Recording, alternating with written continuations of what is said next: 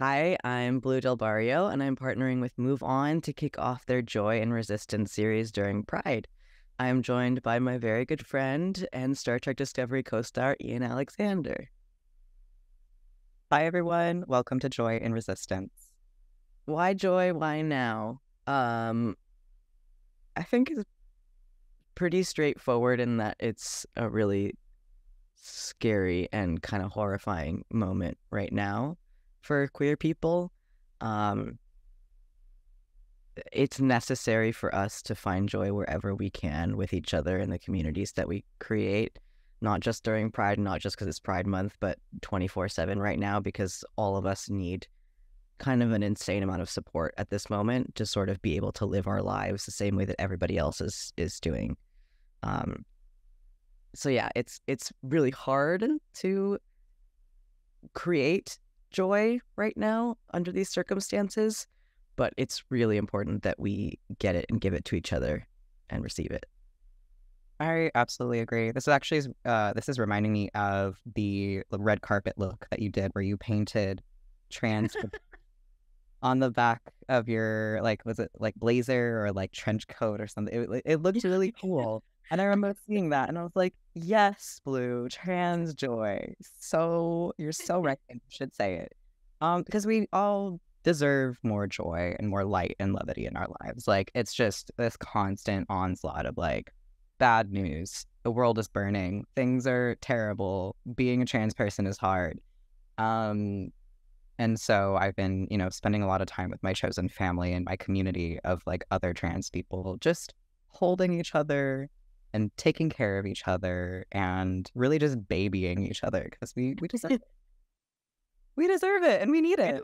Yeah, a lot of us did not get that or get that to a sufficient level, and so it's when we say chosen family, like it, it is really a lot of us are having to like go back to the start and redo a lot of what our childhood should have been. So yeah. it's it's it's so important.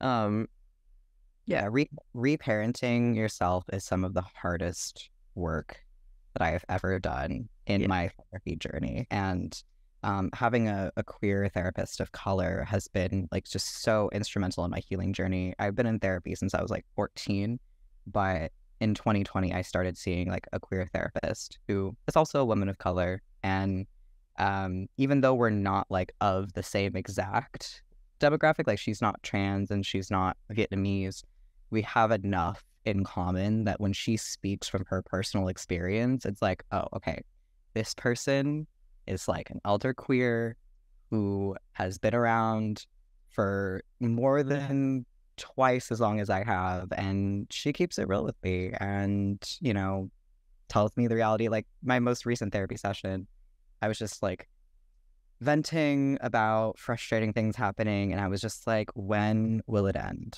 It won't. And she was just like, it won't, but it will get easier because you will get smarter and you will grow thicker skin. And it, you'll eventually get to a place where things will happen and it won't bother you as much as it used to. Yeah. And she's like, I'm not trying to be depressing. Mm-hmm. but I appreciated that she kept it real with me because she's just like, you know, she's like, I'm, I'm a, like, I'm just gonna keep it real with you. Like, you know, I'm not gonna get better, the world will always continue to be hard for us as long as we continue to exist, which, you know, we're not going anywhere. Um, I just, I, I love my therapist so much.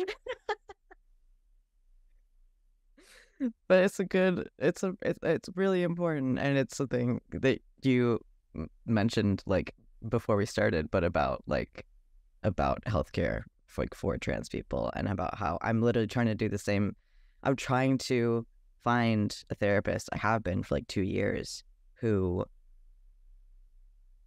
I can feel the same way that you feel with your therapist. And it's really hard. It's much harder than I also was in therapy from like a young age on, but didn't start my transition until later, until I was a little bit older. So, and I'm just comparing like how how wide of a choice I had when I was, you know, like femme presenting and not yet come out versus now when I really need somebody who understands. Um, and it's it's not a want, it's not a desire. I've like found out through trial and error. It's a need.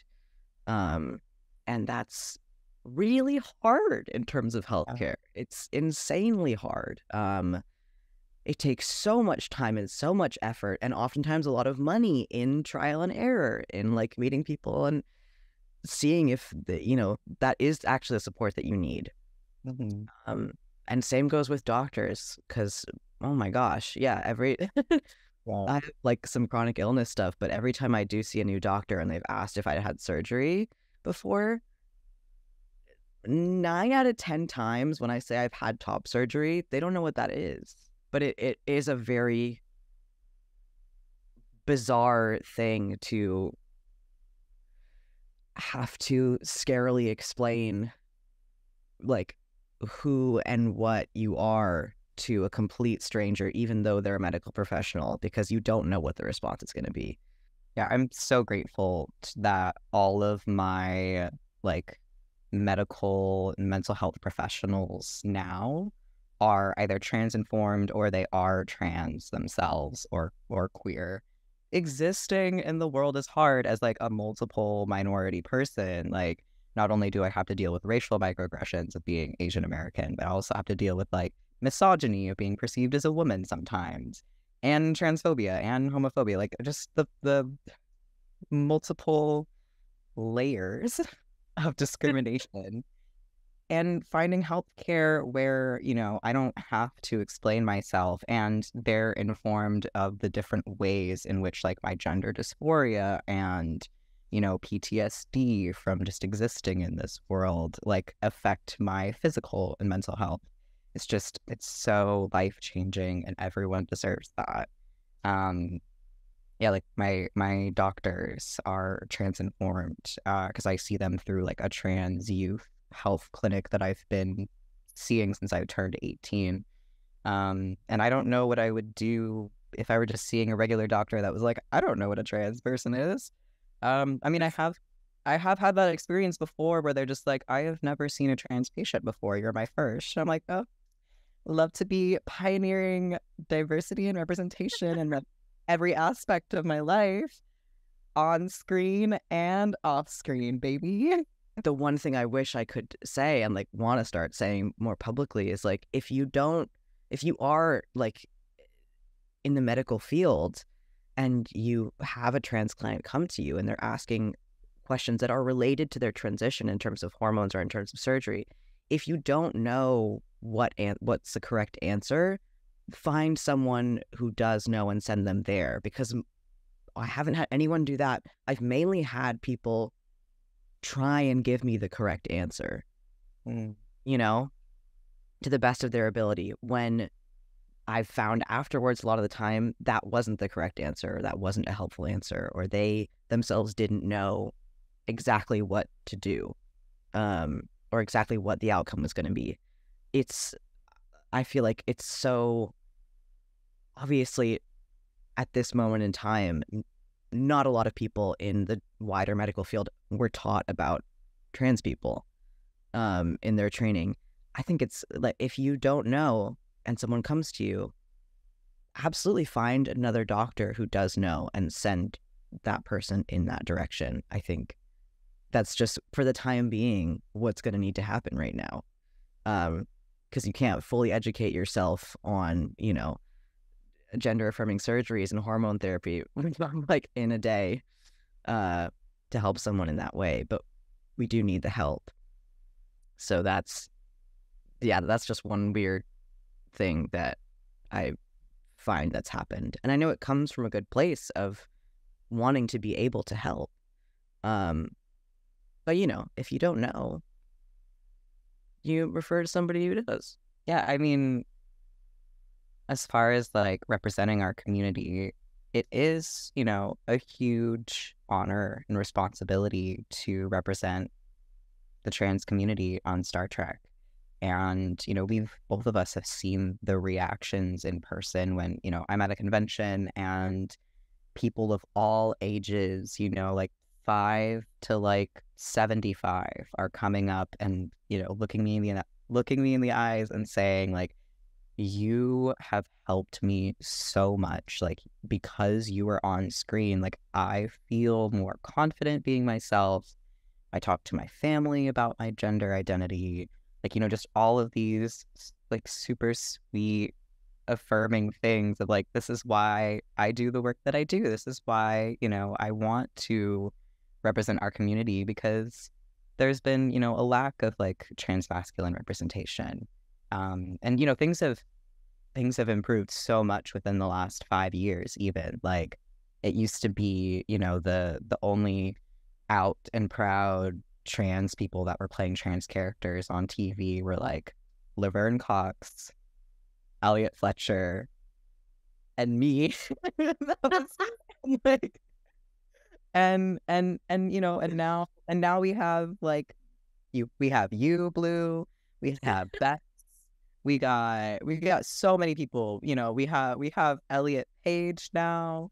Um you know, we have Leo Sheng, Chella Man, like there's just there's so much there are hundreds and hundreds of trans actors now and i'm really grateful for the community that we've built with each other because most of us are friends with each other because it's hard. It is it, it is hard being so visible in a world that does not want us to be visible. The community that we've found within other trans mask actors has been like I can't explain how helpful and how meaningful because it's there's still there's there's more of us. There's still not a lot of us, and film and television is still in a place where it's like very split people's reasonings for writing in a trans character. It, you know, there can obviously be the stories where it's very well intentioned that uh, it's there for a reason, it's informed, and the character is like a fully fledged human being.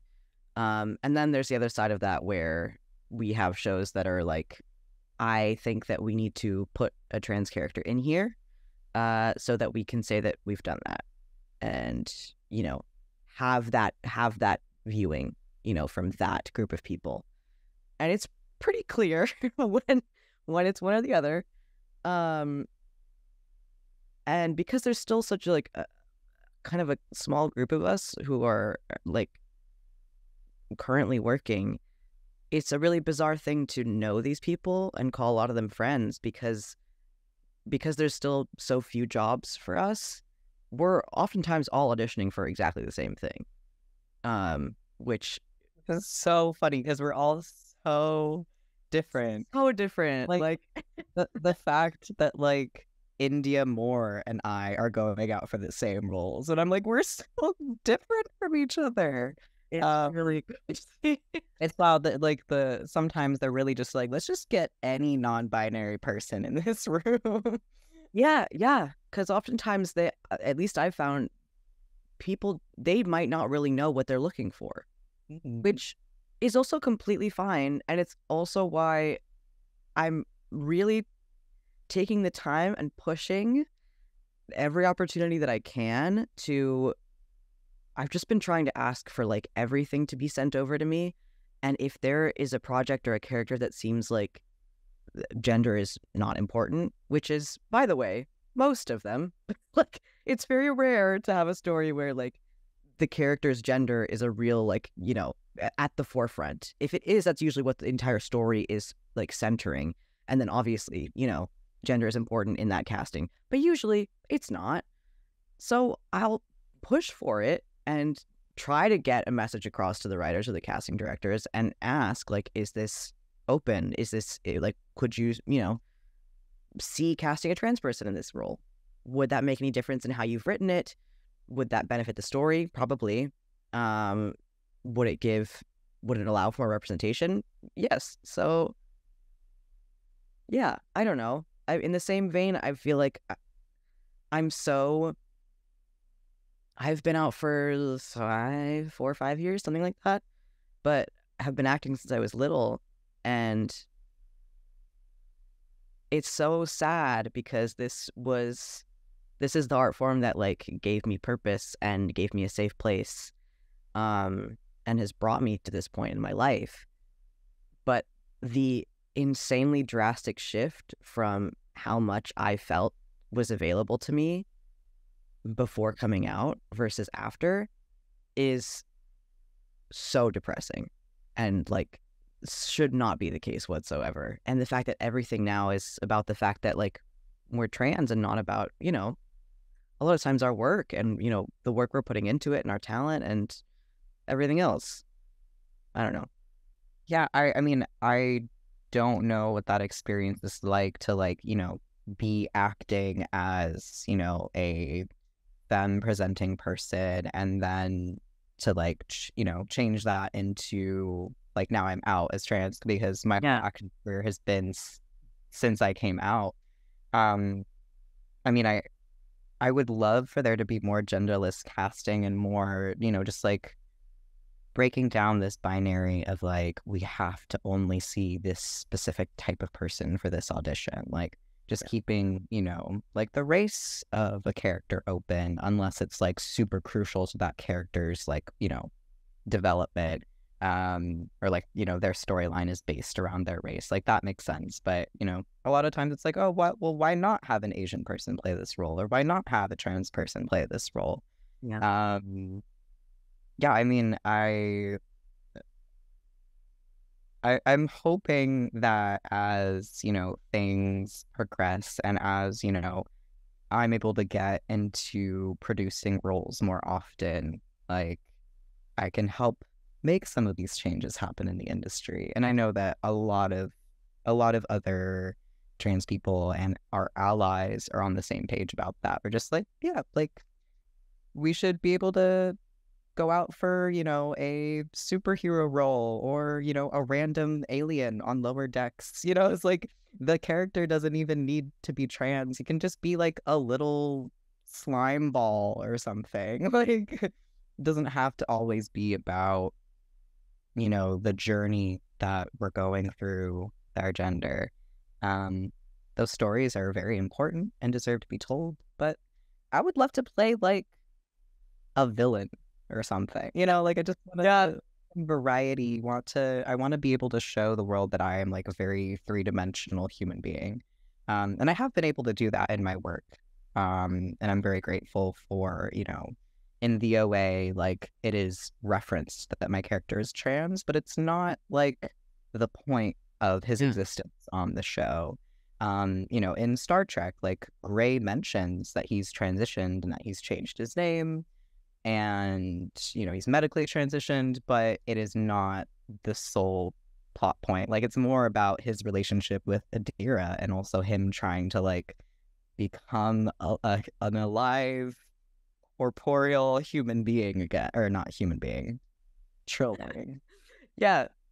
Yeah. No, it, it like, and I'm very happy that we, for Adira, kept that. I guess, yeah, coming out scene really short and sweet and simple. And we never had to go back to it. Yeah. It was very straightforward. I I'm really happy with with how that turned out and the direction that we went in with it because I think that's really all it needed. Um, yeah, I I really appreciate like Stamets and Culber's just instant like yes like new pronouns got it because like that experience is really rare for trans people. But that far ahead in the future it won't be that rare um so you know it gives me hope that like this is the future that we want for ourselves where you can come out and you can change your pronouns and it's not going to be this huge fight it's not going to cause you know trauma it's just like oh they use they them now? Okay cool. And then you carry on with your day because you got bigger fish to fry you're like you're on a spaceship doing space related things. Who cares about pronouns? There's reprogrammable matter. Like you can literally create whatever you want so of course you can change your gender um I, I love how casual it is it is. It is crazy though. Like it, uh, even just now, I, not even, not even in space, not even in the future. I don't. I, I tend to deal with a lot of like strife and bad emotions with humor, which is not always great. But that's like it it's it's so simple in my head. I also like I know that I'm trans and we're trans, but also if you if you put it on paper, it is just the simplest thing. If you tell a kid, every time I've seen a video or had an actual in-person experience with, you know, a younger person who's been like, "Oh, are you a boy or a girl?" and myself or their parent will be like, "Well, they're both or they're neither." The response you get is like, "Okay."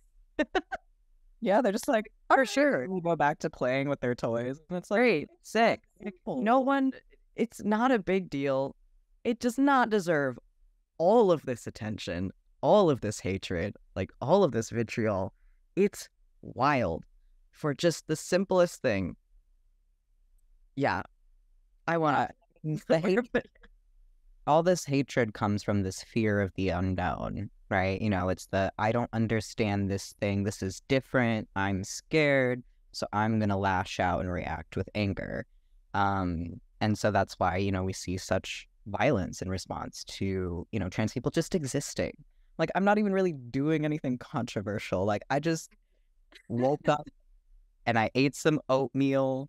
Like, I'm just existing uh and and you know and that makes some people really angry because they just they are so afraid of living their true authentic selves that it angers them to see other people doing that. Um and, a big part of it is you know their mental health is probably not great. Um i mean i, I really do think that all violence in the world comes from a place of like deep deep internal hurt yeah. Um, which is why, you know, accessible mental health care is so important for, for everyone, not just people in the trans community. Like we all are going through this world that is on fire and we need to talk to professionals about it who can, you know, help give us advice and like coping strategies to deal with the fact the world is literally on fire. Yeah, it's it's and we're both like really if I can speak for both of us in a really like lucky position to be able to have that kind of healthcare in our lives right now and it's crazy and really disappointing how difficult it is to even be able to get in just for one session with a therapist for anybody um it just makes it a lot harder. It's already hard to start that process and make the decision to start that process on your own, we need to find a way to make it easier for people to then take that step. Because taking that step, that next step, is probably why a lot of people give up. It's so financially difficult. It's so difficult to fit in with a lot of people's schedules and times and work. And it's, you know, without insurance, it's like, it's uh, close to impossible. So it, it's, it's takes a whole nother level of effort to actually get into that appointment, which, you know, for a lot of people, is just not realistic. It's not manageable. So it, I don't, we've built it in a way that is really not great um, for most. um, yeah, I mean, so so much of it is just the way that capitalism works and doesn't allow time for self care or leisure unless you work less. And some people can't afford that. Some people can't take a couple hours off to go to healthcare appointments, you know, because then they'll get fired from their job and then they will lose everything. Um, and so, I, I mean, I, I just, I don't I don't necessarily know if there is one size fits all solution to this, but I think we can start with just meeting people's basic needs in society so that they don't have to decide between having great mental health care or having a home and food and, you know, keeping the lights on. Yeah. Which seems like such a simple concept, but apparently it's not. Thank you for checking out Joy and Resistance. If you want to get involved and be informed of our latest updates, text JOY to 668 366 and follow MoveOn.